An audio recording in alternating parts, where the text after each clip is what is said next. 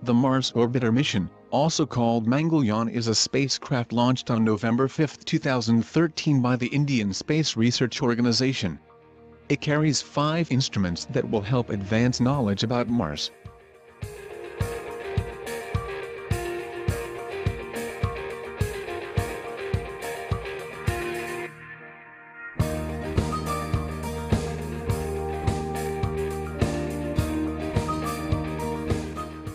The Mars Orbiter mission probe lifted off using a Polar Satellite Launch Vehicle PSLV, rocket.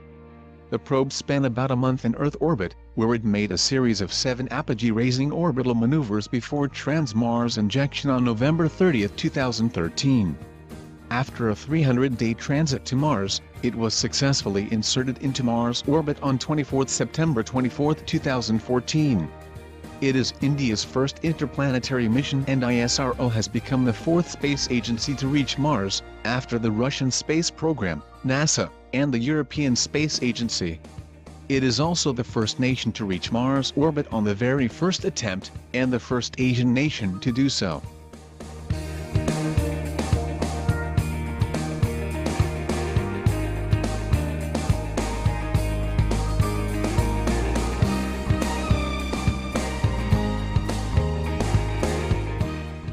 In 1947, on getting independence, the young nation decided to follow the democratic and secular path giving high importance to science and technology. India's space program was launched in the early 1960s and the country developed its own rocket technology after Western powers imposed sanctions. India's first satellite Aryabhata was launched from the Russian facility at Baikonur in 1975.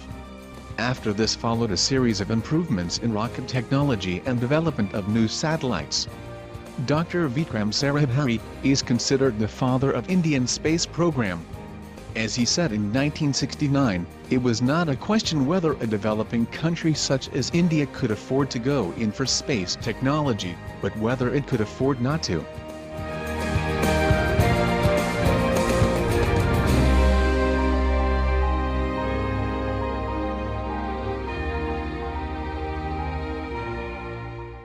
The total cost of the mission was approximately 73 million US dollars making it the least expensive Mars mission to date.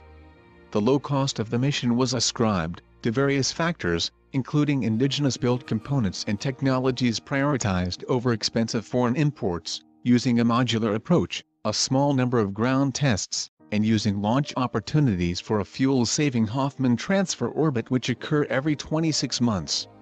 India has been careful to do things simple. The Indian Prime Minister Narendra Modi even quipped that India's real-life Martian adventure was costing less than the make-believe Hollywood film Gravity. History has been created today. We have dared to reach out into the unknown and have achieved the near impossible.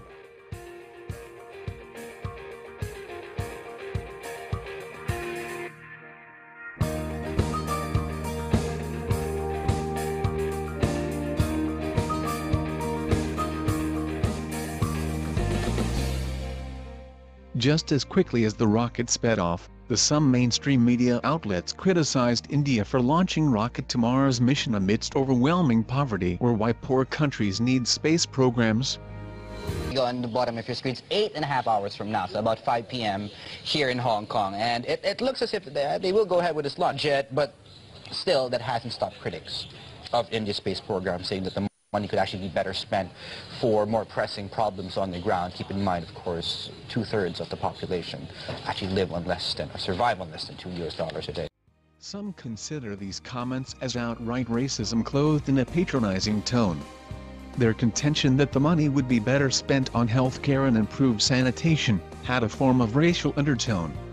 According to ISRO scientists, space technology and activity is also a wealth generator.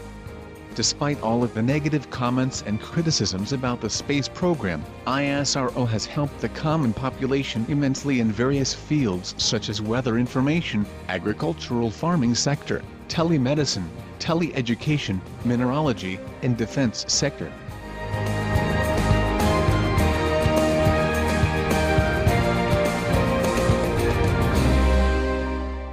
The mission is a technology demonstrator project to develop the technologies for design, planning, management, and operations of an interplanetary mission.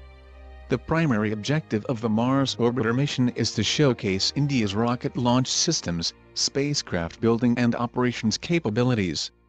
Specifically, the objective is to develop the technologies required for design, planning, management and operations of an interplanetary mission, comprising the major tasks such as design and realization of a Mars orbiter with a capability to perform Earth-bound maneuvers, cruise phase of 300 days, Mars orbit insertion capture, and on-orbit phase around Mars, deep space communication, navigation, mission planning and management and incorporate autonomous features to handle contingency situations.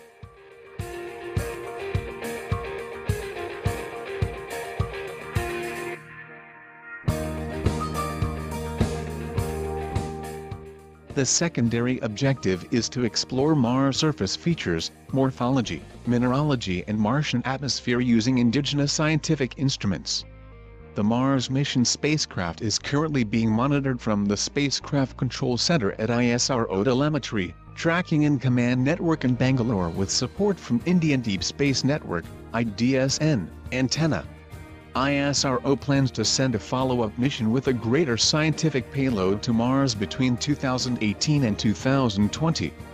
This mission will likely consist of a lander and rover, rather than being orbiter only,